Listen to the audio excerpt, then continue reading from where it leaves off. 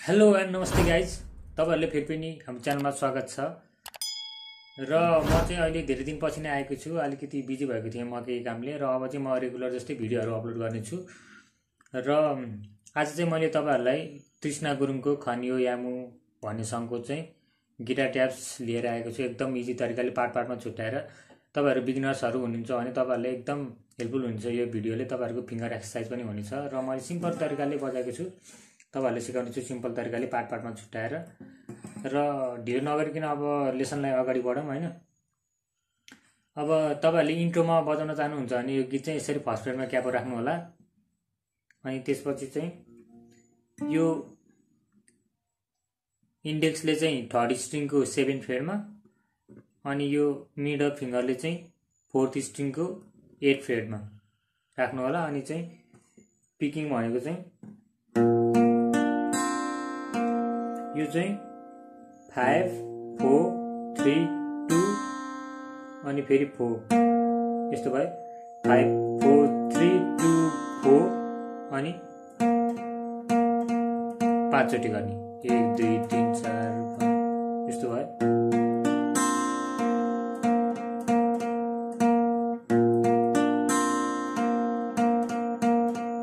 अनि अर्कोचोटि भनेको चाहिँ यो पिङ्कीले फिफ्थ स्ट्रिङको टेन फ्रेडमा। अनि?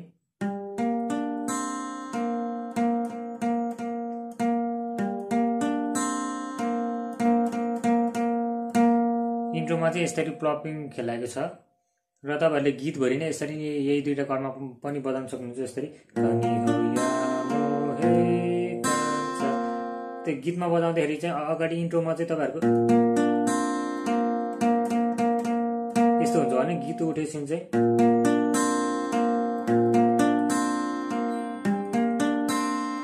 यति मात्रै हुन्छ। यो चाहिँ फिङ्गर पोजिसन त्यही भइहाल्यो। अनि चाहिँ फिफ्थ फोर्थ थर्ड सेकेन्ड अनि फोर्थ। यही रिपिट गर्ने। अनि पिङ्कीले छोएपछि नि त्यही। Fifth string fourth string third string second अनि फोर्थ।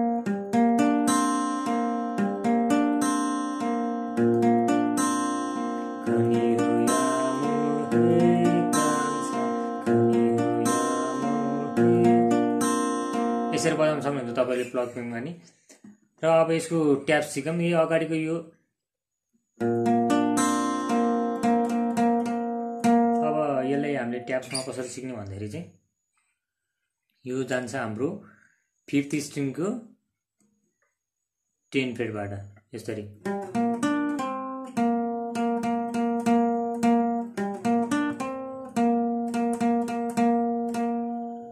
यो चाहिँ फिफ्थ स्ट्रिङको ten.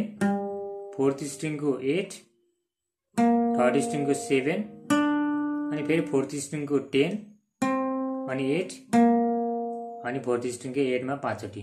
One two three four five यस्तो भयो।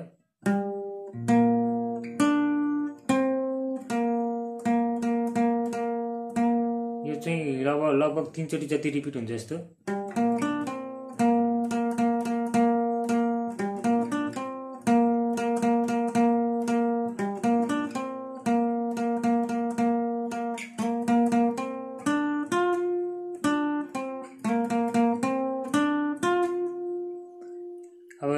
चाहिँ त्यसपछि चाहिँ हाम्रो गीत सुरु हुन्छ। यो बजाउनको लागि चाहिँ तपाईँहरूले यो चाहिँ फर्स्ट पार्टमा चाहिँ हामी यति सिकौँ।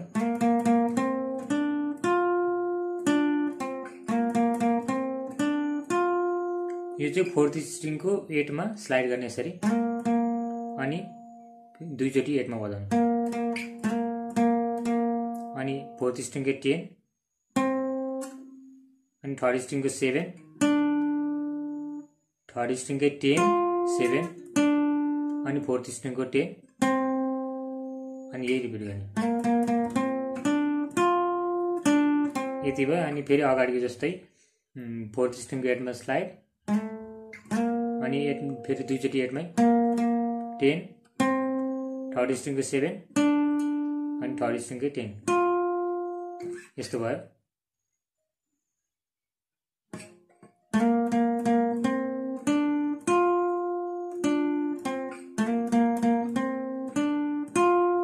यति भयो। त्यसपछि भनेको हाम्रो सेकेन्ड पार्टमा चाहिँ।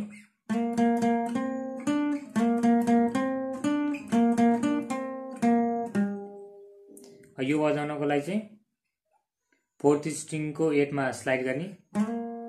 अनि दुईचोटि फेरि एटमै। अनि टेन फोर्थ स्ट्रिङकै। अनि थर्ड स्ट्रिङको सेभेन। यसलाई चाहिँ दुईचोटि रिपिट गर्ने।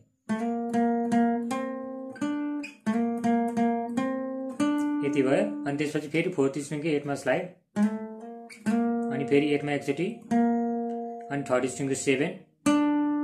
अनि फोर्थ स्ट्रिङको टेन। एट। अनि फिफ्थ स्ट्रिङको टेन। यस्तो भयो।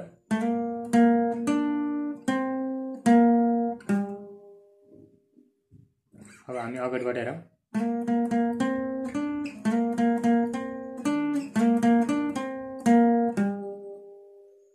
यति भयो। अनि अनि हाम्रो थर्ड पार्टमा भनेको चाहिँ?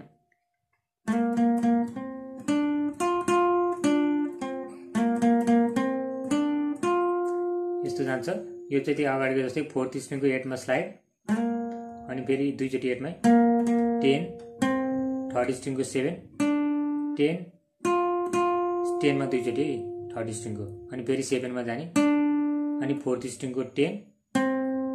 यस्तो भयो। यति भयो। अनि त्यसपछि फेरि फोर्थ स्ट्रिङको एटमा स्लाइड एक फेर। अनि एटमा दुईचोटि। अनि टेन। थर्ड स्ट्रिङको सेभेन। टेन। त्यसपछि भनेको चाहिँ हाम्रो फर्स्ट सोलो जान्छ र फर्स्ट सोलो पछाडि चाहिँ यसरी उठ्छ गाना।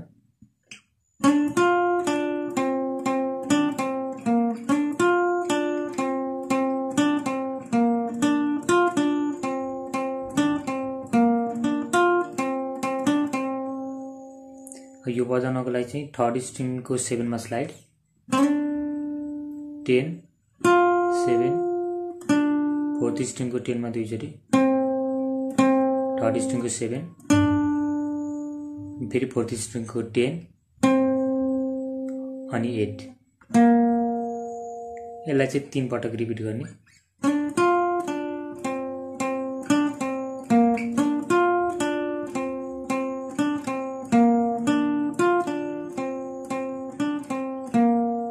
त्यसपछि यो चाहिँ थर्ड स्ट्रिङको सेभेन टेन फोर्थ स्ट्रिङको टेनमा दुईचोटि थर्ड स्ट्रिङको सेभेन फोर्थ फोर्थ स्ट्रिङको टेन।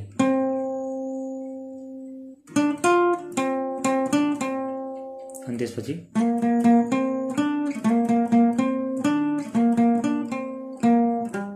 यो चाहिँ अगाडिको जस्तो चाहिँ सेम रिपिट भएको छ त्यसपछि सबै पार्टी यसरी नै रिपिट भएको छ